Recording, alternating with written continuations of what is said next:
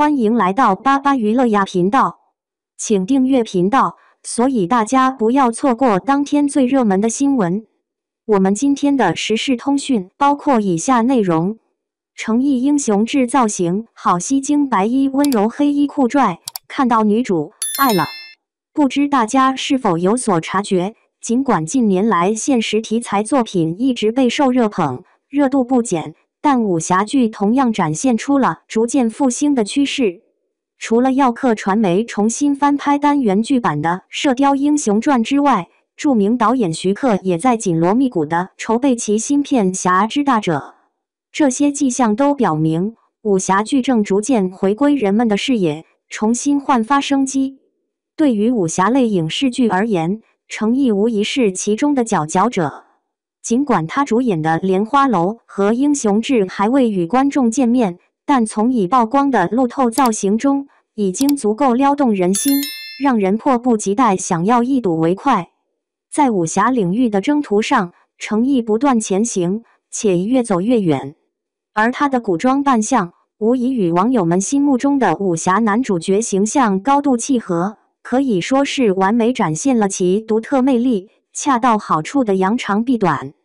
此外，由程毅领衔主演的《英雄志》，相较于同时期启动的影视作品，其拍摄周期相对较长。尽管该剧已经圆满杀青，但时不时仍会有新的路透造型浮出水面，这无疑极大地满足了广大网友对于这部作品的好奇与期待。在《英雄志》这部作品中，程毅扮演的角色为卢云。这位被誉为一代儒侠的人物，卢云起初的身份是一个气质温润的才子，因此在路透的造型中，我们得以一窥他少年时期与松柏为伴，带有几分青涩与文艺风采的形象。在命运的轮转中，书生卢云走过了一条不凡的人生路。他曾一举夺魁，通过科举考试荣登状元之位，踏入官场，领略了权力的滋味。然而，他也曾选择放下一切，孤身一人，手持长剑，游走在天涯海角，尽享那份洒脱与自由。即便他身着简陋的麻衣，头戴斗笠，他的眼神却依然明亮如星辰，闪烁着坚定的光芒，与那张满是尘土的脸庞形成了鲜明的对比，令人不禁为之动容。尽管如此，不得不说。斗笠仿佛成为了武侠剧男主角不可或缺的象征，他总是能够赋予人一种深不可测的神秘感。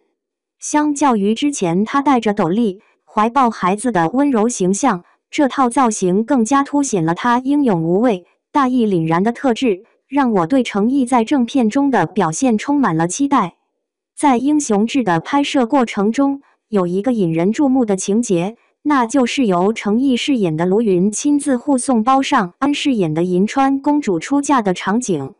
至于后续的剧情发展，特别是卢云如何来到异域之的，目前仍是个谜团。根据目前透露的信息，卢云在异域的装扮有两种风格，一种是以黑衣为主，金色纹饰点缀，展现出强烈的霸气；另一种则是卷发搭配额饰。给人一种异域王子的独特气质。尽管两套服装的配色如出一辙，但发型上的显著差异却使得两者仿佛是两个截然不同的人物。因此，我们非常期待程毅能够在未来挑战一个异域少年的角色。这个角色可能在大漠中与鹰隼为伍，虽然外表还透露着些许青涩，但眼神中却流露出野兽般的侵略性。这样的设定无疑充满了吸引力，让人迫不及待想要一睹为快。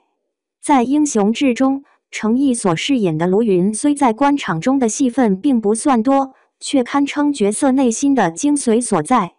这恰恰是因为卢云只有先获得世俗认可的成功与名誉，才能毫无顾忌地与李一桐所饰演的顾倩熙并肩站立，共享荣耀。尽管主角组合的镜头并不算丰富，但程毅与李一桐并肩而立，依然给人带来视觉上的享受。当卢云身着醒目的红色官服，深情地凝望着顾倩熙时，仿佛他的世界都因她而完整。在这鲜明的红白对比之中，是他们紧握的双手，象征着彼此间无法割舍的爱意。在《英雄志》这部作品中，程毅所饰演的卢云与包尚恩所刻画的银川公主共同亮相的场景同样引人注目。两人并肩而立，仿佛就是命中注定的王朝公主与年轻将军的邂逅，充满了宿命感。尽管该剧中无论是女主角还是其他女性角色都具备着极高的辨识度，但若从演技的层面来评判，李一桐的表现无疑是更胜一筹。她低调而不张扬，演技又相当出色，这样的女演员怎能不让人心生喜爱呢？